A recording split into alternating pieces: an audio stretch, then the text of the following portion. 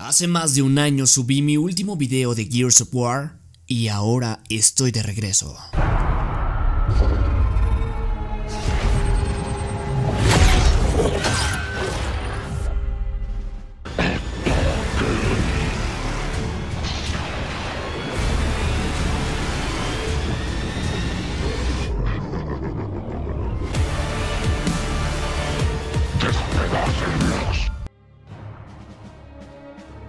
Puede que muchos de ustedes seguían mi contenido de Gears of War desde hace ya tiempo y por ello me conocen. Pero para los que no, estaré subiendo Gears 5 al canal y espero puedan apoyarme ya que agradecería muchísimo que al igual que apoyan los videos de Fortnite, Gears 5 sea bien recibido en el canal. Ojo, esto no quiere decir que dejaré a un lado Fortnite, al contrario, estaré subiendo mucho contenido de los dos juegos.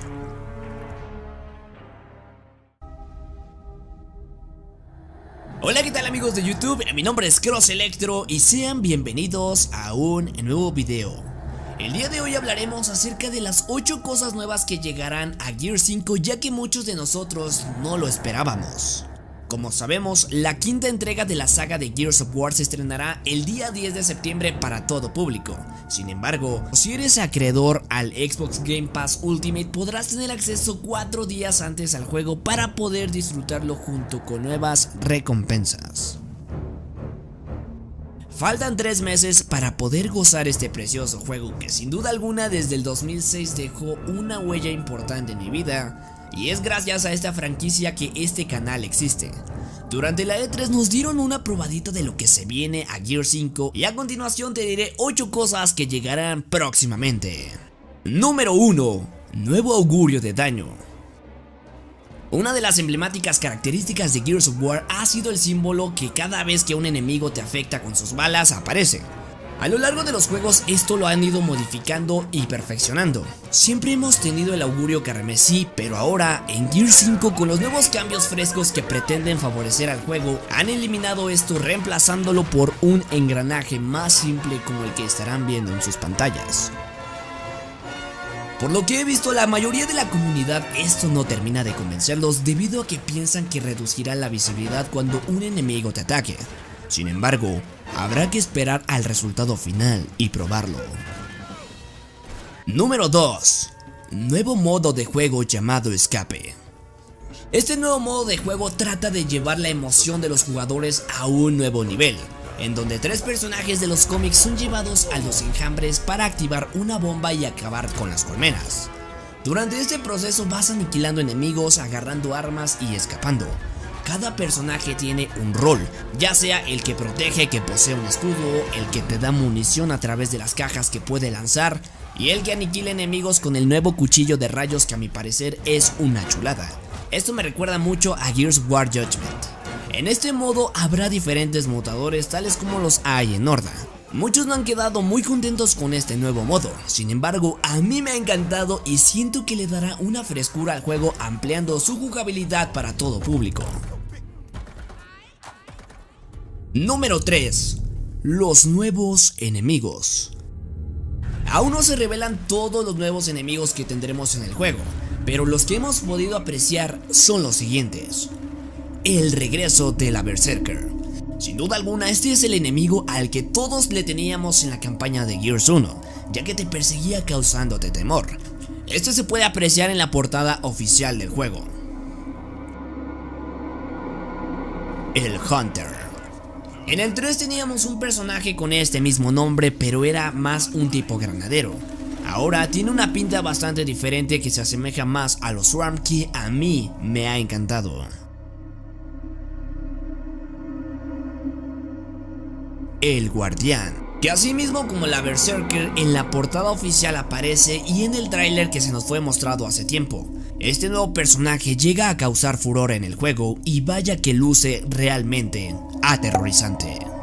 El regreso de los Sires. Esas criaturas aparecieron por primera vez durante una de las partes de la campaña del Gears of War 2. Aparecieron para causar temor y bueno, al momento que yo las vi me quedé impactado. No sé ustedes, pero me emociona ver esto de regreso ya que es un recuerdo genial y estos enemigos eran bastante, bastante geniales.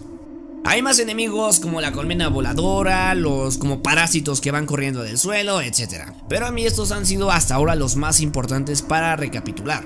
Si conoces algún otro personaje, déjamelo en los comentarios. Número 4. Nueva mira en las armas. Todos estábamos acostumbrados a las miras de todas las armas incluidas en el juego desde Gears of War 1, pero ahora en esta nueva entrega esto ha cambiado ya que lucen de diferente manera tal como lo estarán viendo en sus pantallas.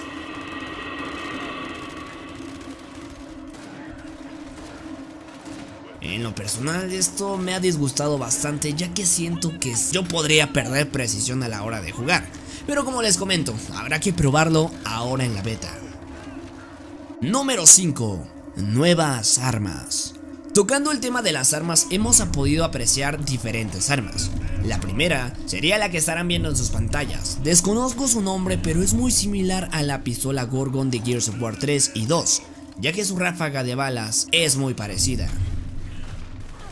Otra de las armas es la de hielo ya que con esto puedes congelar a tus enemigos para acabarlos más fácil. Esta implementación me ha gustado bastante y creo que tendrá un uso genial. La siguiente es el arma del guardián, el mazo con picos que se asimila mucho al hacha de los Butchers, recordemos que este personaje es un carnicero y te atacaba con el hacha. Pero obviamente está mejorada con una ejecución genial y nuevo uso. Y bueno, también tenemos el cuchillo de rayos para aniquilar a los enemigos con mayor estilo y fluidez, que bueno, esto me ha sorprendido demasiado, vaya que no lo esperaba.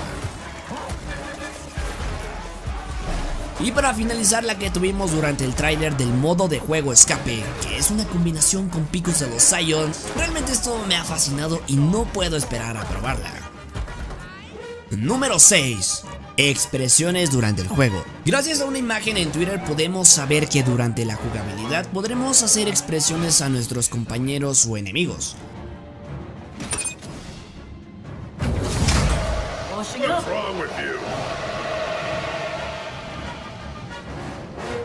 Tal como la función que tienen otros juegos como Fortnite, Call of Duty, Destiny, etc. Creo que esto será una sensación a la hora de jugar, se imaginan, o sea, poderle bailar a tus enemigos al momento de ejecutarlos.